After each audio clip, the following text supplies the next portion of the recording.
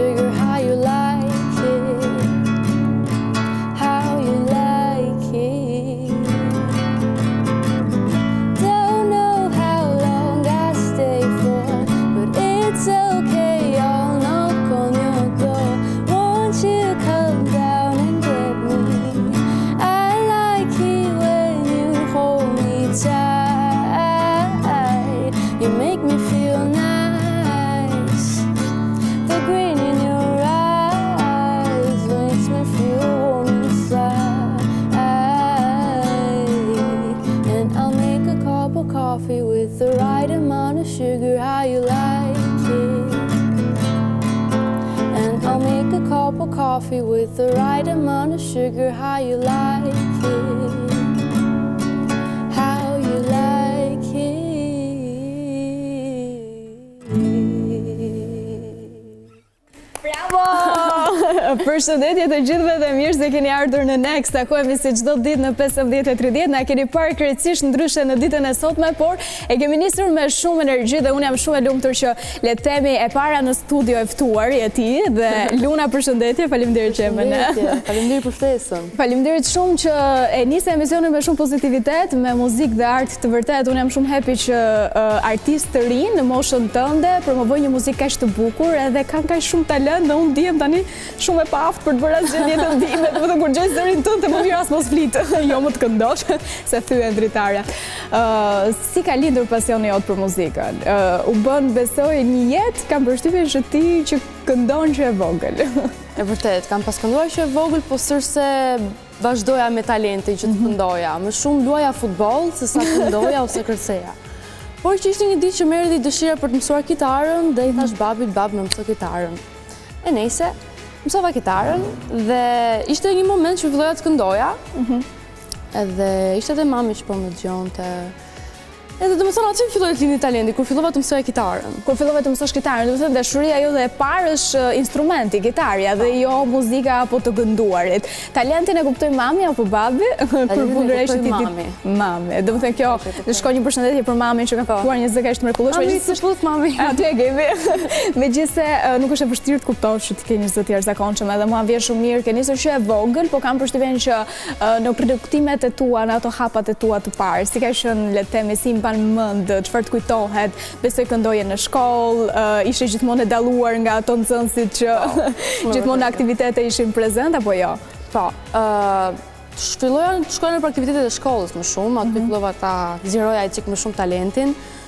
Pas erdhi dhe Art Festi si mhm. opsion, por që neve më shumë te Art Festi shkuam për të lënë orët e mësimit. Kjo është po. kjo është një arsye që ndoshta kuptoi një gjë shumë të madhe po. te ti. Po pastaj duke kaluar fazë në fazë, morëm vesh që shih se kjo është serioze, kjo është mhm. diçka që ia vlen të Është një konkurs i vërtetë. Është një konkurs i vërtetë. Dhe kur mora pas çmimin uh, artistja me stilin më të veçantë, ka qenë vërtet një nder për mua, se çmimi i parë që mora. Çmimi i parë që more, le të themi, në të gjithë rrugëtimet e tua që kishe marrë këto konkurset. Edhe Tirana Art Fest kam përshtypjen që nuk ishte vështirë apo jo, për ty si si këngëtare apo kishte konkurrencë, si e gjete, sepse për ta sqaruar për publikun është një konkurrim midis gjithë gjimnazeve të po. Tiranës, edhe nuk është e lehtë, domethënë kalon nga faza që ti je në shkollën tënde, pastaj konkurron me të tjerat, vjen finalja, kështu që është një kompeticion le të themi me përmasa jo të vogla, kështu që si ishte për ty? Mm. Për mua ishte goxha eksperiencë e bukur, edhe pse kishte ato vështirësitë e veta që kanë mhm. qenë ndërkohë se për fazat e para, faza e dytë, prova. Po. Lënie orësh mësimi. Mhm. Domethënë, ka qenë vërtet ngarkesë, por që në fund të fundit ia vlejti çdo gjë. Ia vlejti kur more kupën. Po.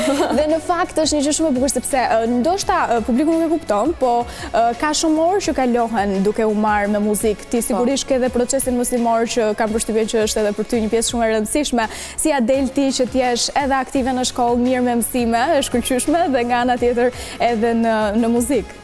Tani, unë për shkollën e kam dhe mbasdite. Mhm. Edhe është çikë e vështirë, të merrem dhe me arte dhe me shkollën, por që në mëngjes çohem herët, mhm. shkoj në tualet, mbaroj ça kam për të mbaruar, Dhe pastaj filloj marr kitarën, i bie kitarës, bëj ca studime, një orë, dy orë maksimumi. Që në mëngjes, domethënë ti e nis me muzikë. Po, që në mëngjes. ditën tënde, sa me fat. Mund, do donim ta nisnim dhe ne, po ne maksimumi të dëgjojmë ça kemi në telefon se vetë. Kështu që është bukur, besoj, a të ndihmon arti që ta kalosh bukur ditën. Ja, zakonisht. Ja vlen. Po është e ngarkuar dita jota? Po, është në fakt. Mhm. Tani kemi dhe ato festet e 28 nëntorit që fillojnë po. aktivitetet e shkollës.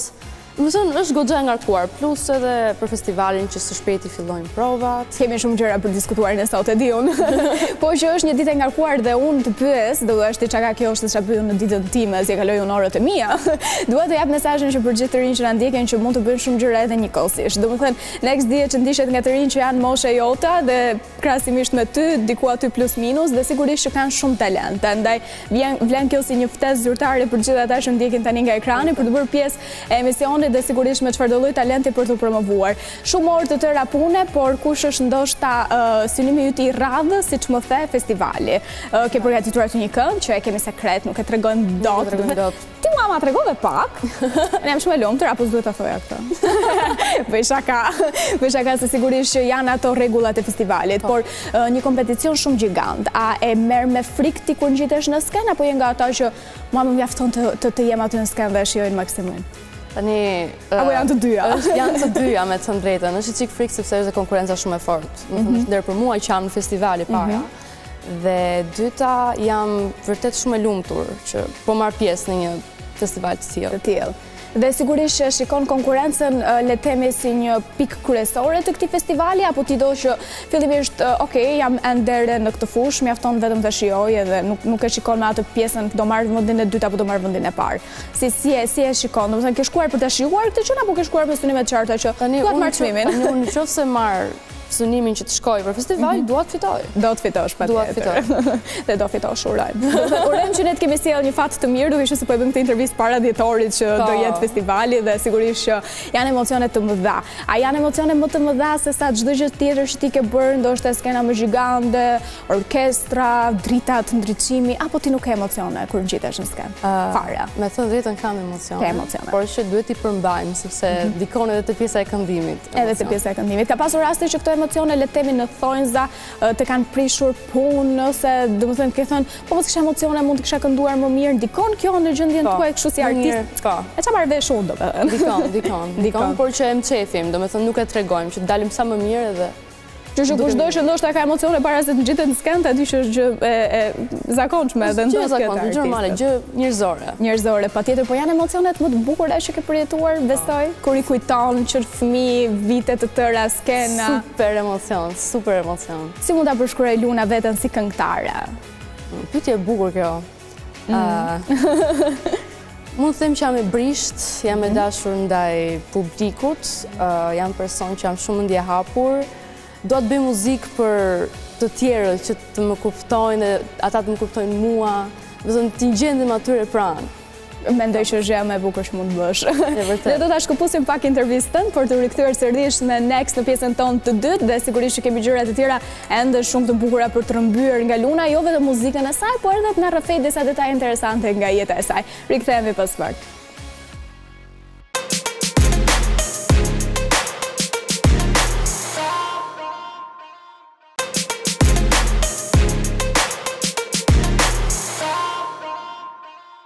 Ja ku jemi rikthyer sërish bashkë të dashur miq, kemi ndjekur një insert shumë interesant sa i përket muzikës patjetër, sepse kjo ka qenë tema e ditës së sotme jemi në Next Art, aty ku nuk ka kuptim që ne të flasim për gjëra që s'kanë të bëjnë për artin, dhe sigurisht ne duham që i gjithë episodi të jetë me shumëllojshmëri gjërash, prandaj vijmë kështu në ekran, Një rrugëtim shumë i gjatë në muzikë, le të themi një jetë e tërë për ty dhe sigurisht që vjen tani në në një kompeticion siç është ai i festivalit në RTSH. Konkurrenca është e madhe, ne sigurisht që e diskutuam këtë pjesë, po. por ajo që më pëlqen më shumë te ti është pozitiviteti që ti ke. Nuk e ke fare me stres në kuptimin jo. që mërzitesh ose çfarëdo lloj gjëje si të shkojë uh, performanca ti do jesh okay. Ajo që do doja të të pyesja është uh, si ndihesh pas uh, pas Pas çdo gjëje pra mbaron performanca dhe ti shkon në backstage, janë gjëra që publiku nuk i njeh këto, ti lë kitarën, takon prindërit, si janë këto gjëra që nuk transmetohen asnjëherë në ekran, se kjo është, kjo është e bukur për të zbuluar. Në backstage mbasi mbaroj performancën, marr frymë mhm. dhe pastaj lë kitarën, takoj prindërit, mhm. i them faleminderit për çdo gjë, jam shumë e lumtur, takoj shoqërinë. Dhe kështu. Dhe kështu është bukur, si ja në komentet që merr nga nga shoqëria. E di çfarë pyetje më lind në kokë Luna, që ta bëjmë biseden një çikë më shoqërore, se nuk e di se ç'e kemi bërë kështu sikur po si si si dy goca që bëjmë thashetheme. Vë re që të gjithë miqtë janë ata që gjithmonë pas çdo performance japin duartrokitjet e para, komplimentet e para dhe sigurisht është suport i madh përtej familjes. Por ajo që nuk dimë dhe nuk themi asnjëherë në ekran, për shembull që unë vdes të them gjëra që nuk thuhen se publiku këto do të di, Është fakti që për shembull se ç'ja bën ti në kohën tënde të lirë, a të ngacmojnë ato ty siç më ngacmojnë mua që ti s'ke kohë fare të merresh me ne, ti s'del me ne për kafe, ke ti kohë për shokët e tu? Unë kam kohë për miqtë e mi, por janë edhe shumë... Me këtë bëra gabim me veten time, se do më ndjekin tani do thonë ja jo ka kohë, po pse ka kohë ti, unë s'kam kohë për shumë. Nuk mërziten ata, të më kuptojnë. Me mua janë shumë të duruar miqtë e mi, dhe më kuptojnë shumë mirë. Të kuptojnë. Patjetër, po ka momente që ti duhet t'i sakrifikosh, e kam fjalën, po. le të themi të kalosh kohë me miqtë, sepse po të shohësh, domethënë unë kam marrë dhe intervista nga ato që më kanë thënë, më merr malli për faktin që ndonjëherë nuk kam kaluar shumë kohë me miqtë. Po si e sheh, ndoshta është një pyetje për ty, ende herët për ta bërë, po thua më mirë që unë merrem me art dhe nuk e kaloj gjithë atë kohën time në kafe, Apo të merr ndonjëherë malli, kë do zgjidhje, apo ti do thua përderisa po e bëj vajzë e dashur, ndjeq artin. Të thënë drejtën arti do jetë pjesë e jetës sime mhm. gjithmonë, por që është dhe pjesë e shoqërisë që ata kanë qenë në hapat e tua të para mhm. dhe ata do të ndihmojnë në çdo, domethënë të kanë ndihmuar që në fillim. Që që sigurisht që nuk të bezdis fakti që ndonjëherë le të themi shpenzon kohë edhe jo me ata. Por është një mesaj i mirë, a ke ti një mesaj të tillë për t'ua dhënë të gjithë të rinjve që na ndjekin tani nga ekrani që ndoshta ndonjëherë Sidoqoftë, vështirësia për të qenë pjesë e fushës së artit, pjesë e botës së artit, ndonjëherë ia vlen dhe këto sakrificat e vogla. Ke ti një këshillë të tillë për t'ua dhënë të gjithë atyre që nuk marrin guximin ndoshta për të qenë në skenë siç ti ke bërë?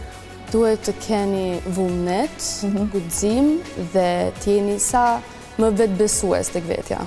marrëdhënia jote me rrjetet sociale, si ka qenë, sepse janë le të themi një marketing shumë i mirë i, i punës tënde. Po, Nuk është një Instagram apo një Facebook privat që ti e ke vetëm për miqtë e tu, por është një Instagram publik që ti shpalos aty talentin tënd. Si e ke parë ti si një vajzë shumë e re në moshë, shumë e vockël që ke ditur ta shfrytëzosh në mënyrën e duhur rrjetin social, pra teknologjinë, sa të kanë ndihmuar rrjetet sociale të krijosh ato fansat e tu le të themi të parë? Po, më kanë ndihmuar shumë. Të aty mhm. kam postuar gjithë coversat, Edhe fotot tuat patjetër që janë artistike dhe ne i kemi parë sigurisht ato. Është një mënyrë e mirë për të promovuar apo jo? Po si janë komentet që ti merr qoftë edhe në rrjete sociale nga ndjekësit nga ata që nuk të njohin nga afër? Janë pozitive? Komentet janë goxha pozitive. Mhm. Shumë pozitive. Dhe më bëhet shumë qefi që janë pozitive.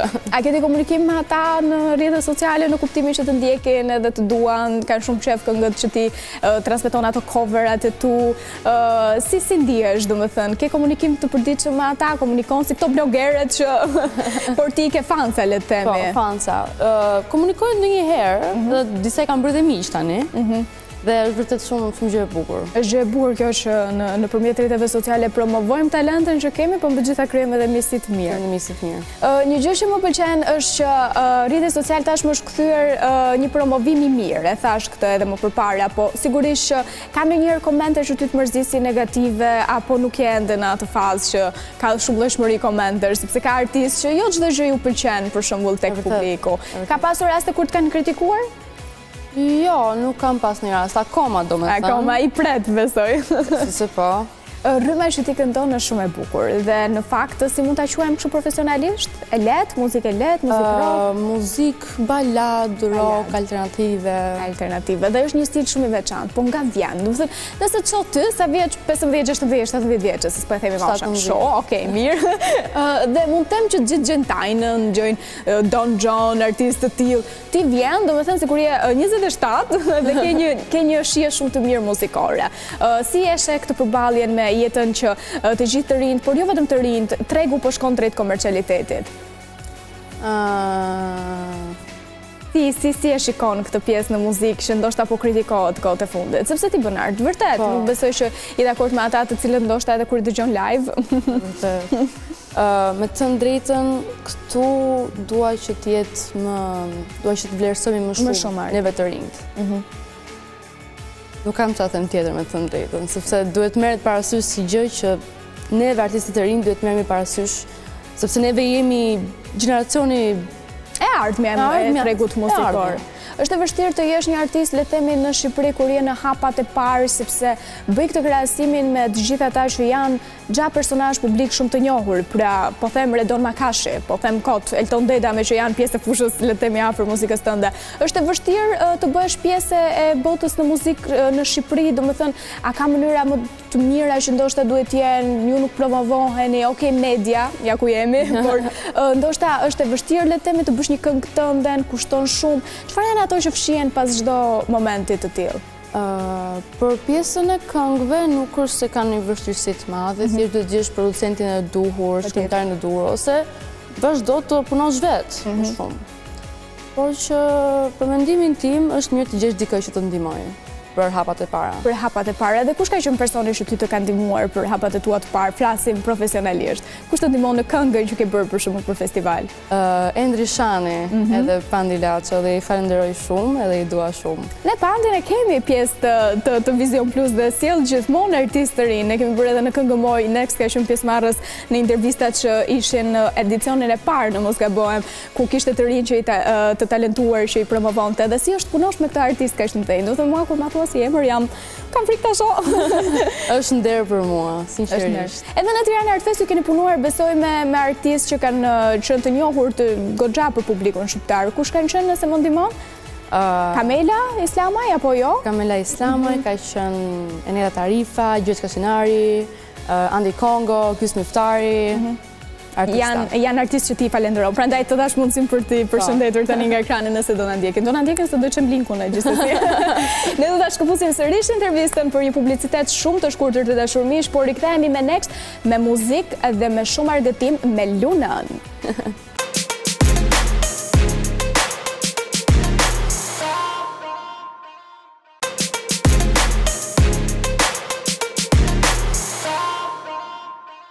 Jemi rikthyer sërish bashkë të dashur miq, ju lashë vetëm pak çaste vetëm pa art, sepse në të gjitha minutat që unë kam këtë intervistë mundohem ta shijoj të gjithë episodin me art edhe mbi të gjitha që publiku të kënaqet me gjërat që ne transmetojmë që janë gjithmonë interesante, të paktën ne kështu mundohemi. Ka shumë artistë që ti Luna i ndjek nga ekrani i madh i televizorit, disa i ke takuar dhe sigurisht që je ndjerë shumë e lumtur. Por nëse të pyesim, ke një artist tëndin të preferuar shqiptar? Ëh, shqip Tar, kam Vaçe Zelën, kam Tre Muskëtierët, kam Djemtë e Detit. O zot i madh, unë i njoh këto dhe gjithë më thonë si ka mundësi që i njeh. Jo më ti që je kaq e vogël.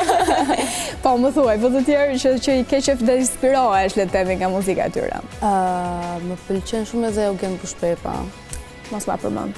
Se kur më thoni Eugent Bushpepa, nuk e di Eugent Bushpepa zyrtarisht, kam një ftesë publike, vjen dot në emision. Dhe se ke qenë fanse e paparë kur na shkoi në Eurovision. Kur shkoi në Eurovision. E di të tregoj një histori fani, unë e kisha shumë qejf, edhe e postoj aq shumë këngën e tij, saqë gjithë ata që më ndiqnin në rrjetet sociale filluan të mendonin që Unë e kisha kushëri.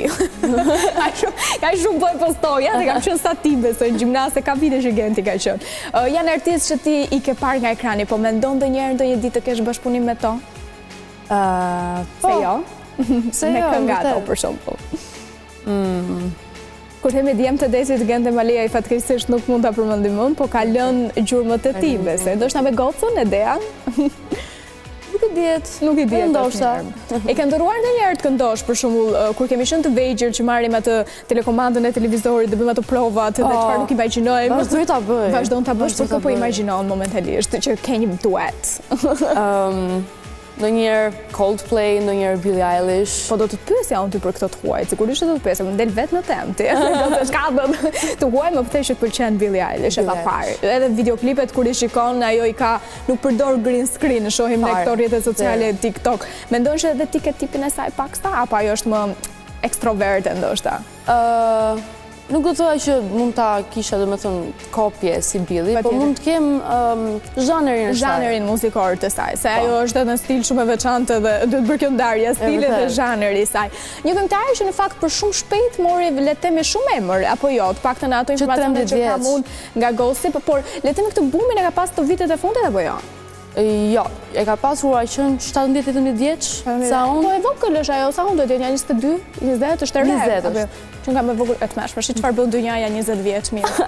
Okej, kur them unë nuk kemi talent ne s'më beson njeri. Por ja, dhe ajo, ti profesionalisht për shembull ke tre vite që merresh me muzikë. Po. profesionalisht, por që e po. vogël sigurisht që ke kënduar dhe është për qejf më shumë. Për qejfin tënd në dush, besoj si gjithë ne të tjerët po. që thyejmë çdo gjë të mundshme pasqyre të këndojmë, po nejse. tani njerëzit fati nuk na i jep dot të gjitha, kështu që t'i ka dhënë ty. A ndihesh me fat që që e ke këtë talent? Pra, nëse të pyesin atë pyetjen tipike që edhe unë do bëhem pjesë e turmës dhe do ta bëj si pyetje. Mendon që është fat apo Shumë punë. Pra talent apo shumë punë? Si do të bëje ndoshta një ndarje në përqindje? Është fat, por që duhet të kesh edhe atë vullnetin që. Mhm. Duhet të punosh. Duhet të punosh goxha. Më shumë duhet le të themi ndonjëherë është e ndarë, nuk ka një ndarje koncize me thikë që duhet një talent patjetër. E ndan këtë mendim me mua, pra ndonjëherë Jo vetëm puna në art duhet, pra nëse duam të bëhemi ekonomistë, nëse ne punojmë shumë, ok, mësojmë çdo gjë nëpërmjet librave, ndërsa arti është i lindur si thua. Po. Është shprehja tipike artist lind nuk Arti, po e vërtetë, arti, domethënë, artisti mund të lindë, mhm. por që ndonjëherë dhe nuk nuk mund ta tregojë për shembull. Unë vetë e mora vesh vonë që kam talent, mhm. edhe pse unë të kam qenë e lindur, kupton? Por që në atë moment ishte shumë Kjo ka qenë një ndër gjërat më të rëndësishme. Ë, mendon ndonjëherë tregun ndërkombëtar? Po. E mendon tregun ndërkombëtar. Ti ke kënduar shumë edhe anglisht, më ke thënë po. Ja. Mendoj që të pëlqen jashtëzakonisht muzika në anglisht? Po, shumë e bukur. Shumë e bukur. Shumë e bukur. Ë, më shumë e gjen veten në anglisht apo në shqip? Në anglisht. Në anglisht, po pse kjo ndodh kjo gjë te të rinjtë? Nuk e kam kuptuar, shumë të rinj bëjnë dhe cover në anglisht. Ju pëlqen më shumë këngët ndoshta apo si na e shpjegon ti kështu artistikisht? Këngët më shumë. Nuk ka të bëjë me gjuhën se shpreheni më mirë apo jo. Jo, jo. Është një pyetje idiote, më thënë. Jo, jo, fare. Nuk marrim vesh nga arti ne, po të paktën i promovojmë edhe na pëlqejnë shumë artistët. A do kemi një tjetër këngë që ti do na e performosh le të themi për publikun e Next? Po, është një këngë franceze. Një këngë franceze, ti ditke dhe frëngjisht? A është e vështirë të këndosh në gjuhë të huaj? Jo. Okej. Nuk ka lidhje fare nëse ke talent, nuk është problem. Sepse unë, për shembull, kur nuk i di tekstet e këngëve, filloj ashtu siç e mendoj unë dhe them tekste pa kuptim, po bëhet fjalë për artistë të vërtetë. Unë do ta shijoj kush këngë është uh, frëngjisht? Je te laisserai des mots. Okej, okay, sa bukur e tha. Mirë. Do ta ndjekim po bëj unë kështu duartrokitje dhe fansja jote më e madhe në publik. Faleminderit.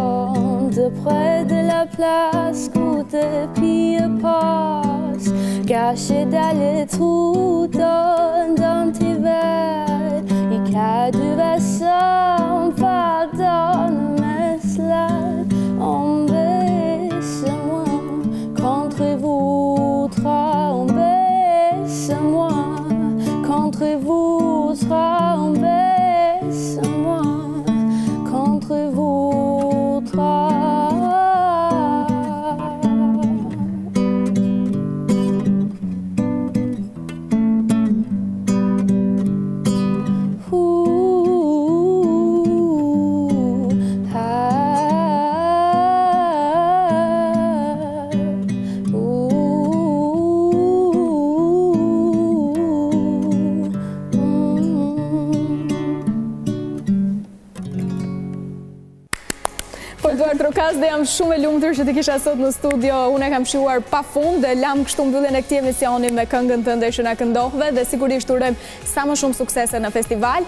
Një ditë do jesh një artiste shumë e madhe. Uroj që të na e hapësh telefonin kur unë të të ftoj në emision. Okej, faleminderit. Se unë i bëj ftesat publike, siç ia bëra Gentit dhe shumë suksese. Uroj që të realizohet çdo dëshirë që ti ke. Shumë faleminderit. Miq të Next, ishte kjo gjithçka çfarë kishim përgatitur për puntatën e sotme. Le të themi që e kemi thyer paksa atë terrenin që kemi lënë ditë pas dite nëpërmjet emisionit tonë kur e kemi startuar këtë sezon. Sigurisht që e kemi marrë me shumë dëshirë, me shumë pasion për të transmetuar gjëra të bukura. Uroj ta kemi nisur mbarë me art dhe sigurisht që do të jemi Përpara ekranit çdo ditë në pesëmbëdhjetë e tridhjetë. Nëse je i talentuar që po na ndjek tani nga ekrani, ju i dini kanë qenë të afishuara gjatë gjithë kohës në ekran rrjetet tona sociale ku mund të na komentoni dhe të jeni pjesë e emisionit tonë. Ju lë takim sërish nesër në pesëmbëdhjetë e tridhjetë, deri atëherë kalofshi sa më bukur, qëndroni me Vizion Plus dhe puthja.